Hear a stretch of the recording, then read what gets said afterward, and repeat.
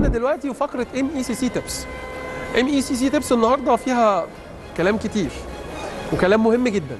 تعالوا ننزل المعادي الهندسية نشوف ام اي سي سي تيبس فيها إيه النهارده.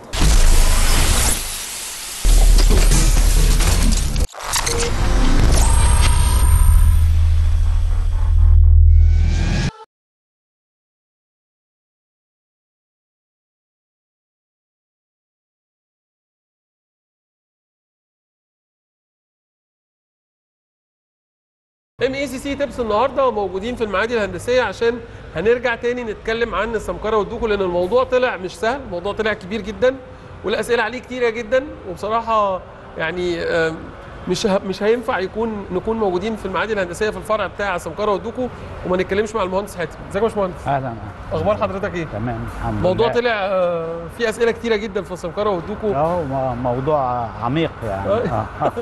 دلوقتي في ناس بتسأل على الفرق ما بين نوع البوية الكويس ونوع البوية اللي مش كويس. يعني هل بيفرق مثلا إن أنا لو راح رش العربية بتاعته بنوع بوية معين هتفرق عن نوع بوية تاني؟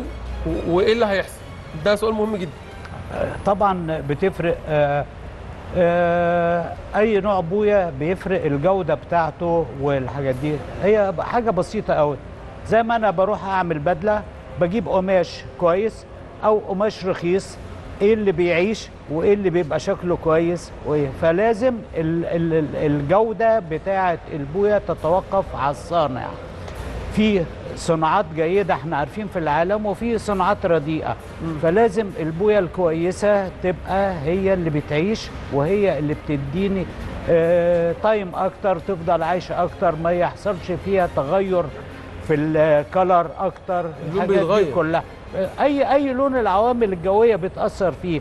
بس في عوامل جوية تأثر بعد خمس ست سنين وفي عوامل جوية تأثر لو البوية مش جيدة هتأثر بعد ست أشهر. يعني ده الفرق الكبير يعني ده.